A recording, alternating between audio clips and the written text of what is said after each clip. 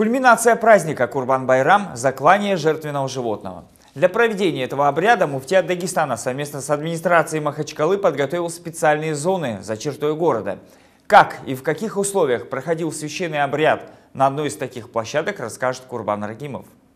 Совершить заклание животного можно без особых хлопот. Для этого достаточно просто приехать на спецплощадку. Здесь на территории ипподрома есть все условия для совершения этого обряда. Приносить жертву можно разных животных, но основной спрос всегда на мелкий рогатый скот. Барашек везут из разных районов республики. Средняя цена около 8 тысяч рублей. На месте работают около 300 волонтеров, они консультируют по всем вопросам.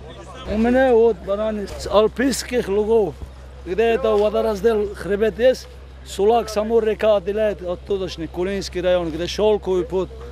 Именно хорошие, вкусные бараны отобрал, чтобы людям на праздники, чтобы довольны были.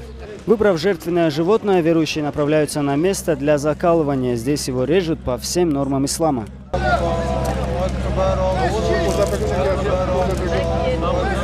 созданы все комфортные условия, чтобы человек пришел и этот э, курбан совершил весь обряд. Для этого есть стоянка. На стоянке люди, которые обеспечивают порядок.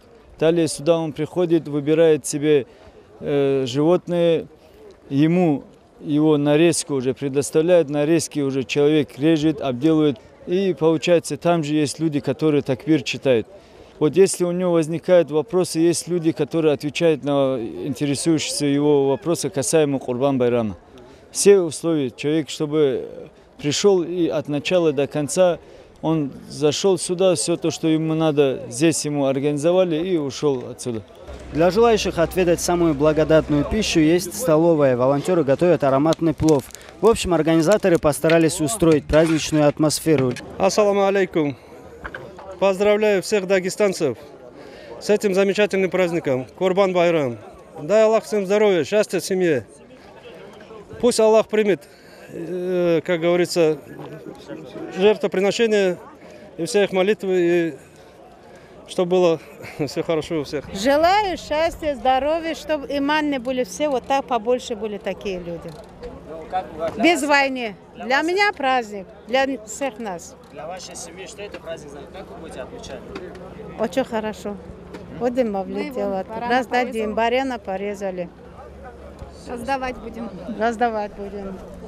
Родственникам, кому можем. Дай Аллах всем, чтобы могли вот так же отмечать праздник. С праздником Гурман Байрана.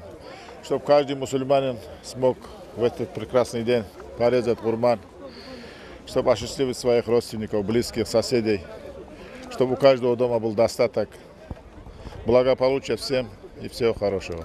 Всем желаю э, имана побольше, здоровья, что благополучие, мира на земле.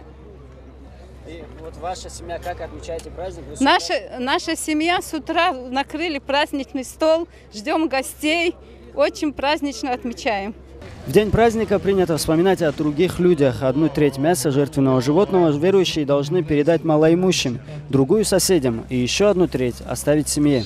Специальные площадки будут функционировать не только в день праздника, но и в последующие три дня. Курбан Рагимов, Гаджи Магомедов, телеканал ННТ, Махачкала.